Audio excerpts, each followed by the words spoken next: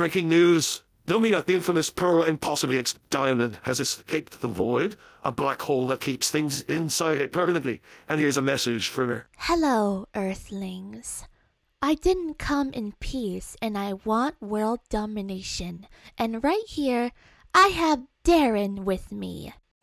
Well, hello there. First, we will take over New York, then Dallas, then Venus, then Paris, and more countries and cities across the globe.